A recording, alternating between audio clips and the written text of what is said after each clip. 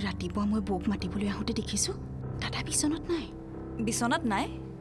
অঁ দাদা চোফাখনতে শুই আছিল। কি?